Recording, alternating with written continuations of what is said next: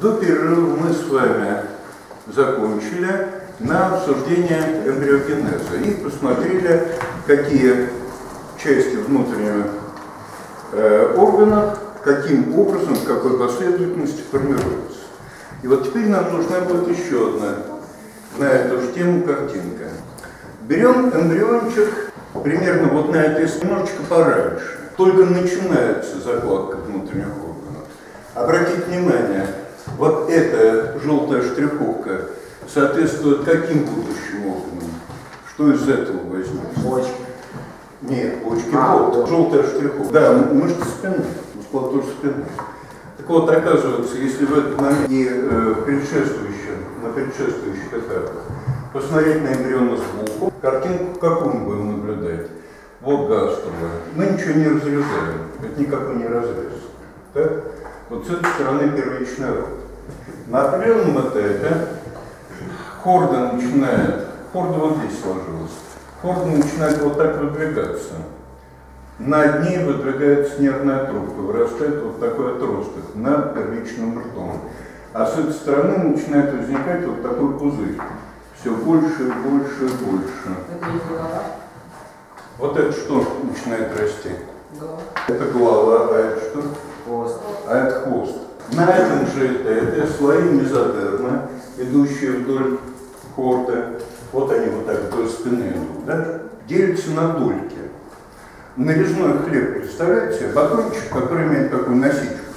Представляете, да? В результате вот как выглядит мышечная порция.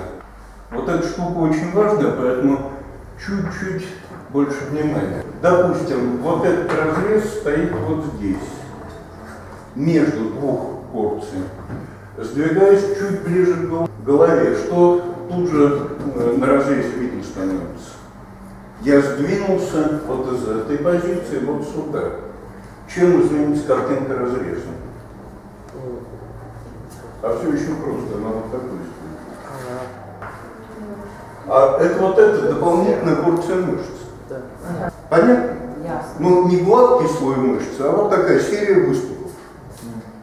Каждый такой мышечный выступ называется миомер. Миомер. Миос – мышца, мерс – единица строения. Именно внутри каждого миомера вокруг хорды начинает образовываться свое жесткое кольцо, которое затем во что превратится? Время. Позвонок. В отдельный позвонок. Так? Именно внутри каждого миомера от нервной трубки начинают отходить длинные проводящие шнуры. Что это за шнуры такие? Ну-ну-ну-ну, от нервной трубки. Да, спинномозговые нервы. А вот здесь, с стороны живота, синеньким, продолжим вот зону этого миомера. Понятно, что вот здесь полость тела, вот эта полость. Там внутри кишечник висит, там внутри половые органы, органы выделения и все прочее. Это ясно? Да. А в стеночке? А в стеночке в каждом миомере начинает расти вот это. А это что? Ребро. Ребро.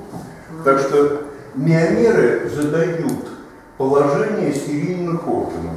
Позвонков, спинномозговых нервов, ребер и так далее. Когда эмбриончик подрос, два миомера, точнее две пары миомеров сойдут с ума. Сойдет с ума вот эта пара миомеров и вот эта пара. Обратите внимание, оба относятся к головному отделу, к туловищному или к хвостовому? Туловищному. Здесь у нас полость тела с внутренними органами. Так? Что значит сошли с ума? Они стали расти в 10 раз быстрее, чем остальные. В результате в этих местах формируется вот такой выступ. И вот такой выступ. Что это за выступы такие? Это будущие конечности. Вот эта заготовка, из которых развиваются конечности, да, миомерная заготовка, будет называться почка конечности. Потом там внутри возникают кости.